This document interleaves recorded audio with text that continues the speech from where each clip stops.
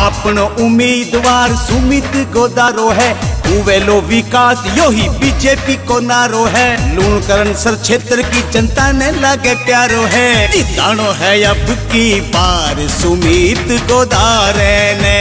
ओटे और दबाऊ वोट सुमित गोदार